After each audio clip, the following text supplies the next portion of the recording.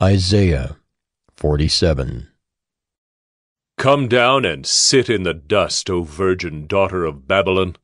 Sit on the ground without a throne, O daughter of the Chaldeans, for you shall no more be called tender and delicate. Take the millstones and grind flour. Put off your veil, strip off your robe, uncover your legs, pass through the rivers. Your nakedness shall be uncovered, and your disgrace shall be seen. I will take vengeance, and I will spare no one. Our Redeemer, the Lord of hosts is his name, is the Holy One of Israel. Sit in silence and go into darkness, O daughter of the Chaldeans, for you shall no more be called the mistress of kingdoms. I was angry with my people. I profaned my heritage. I gave them into your hand. You showed them no mercy. On the aged, you made your yoke exceedingly heavy. You said, I shall be mistress forever.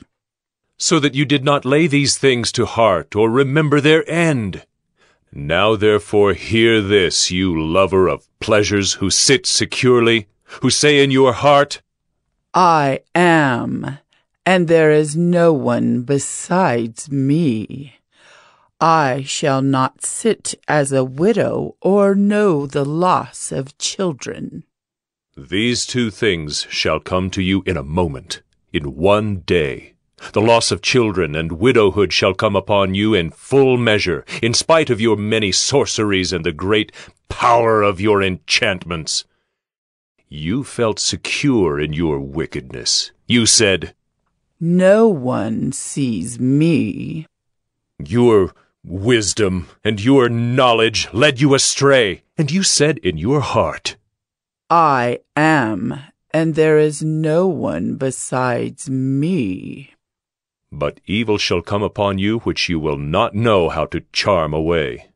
Disaster shall fall upon you for which you will not be able to atone, and ruin shall come upon you suddenly, of which you know nothing.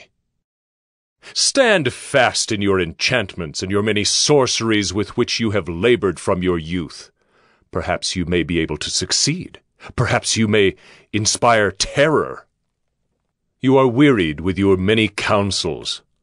Let them stand forth and save you, those who divide the heavens, who gaze at the stars, who at the new moons make known what shall come upon you.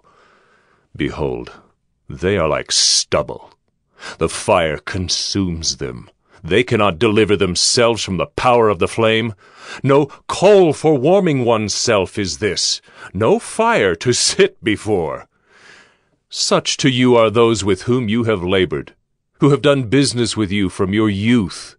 They wander about, each in his own direction. There is no one to save you.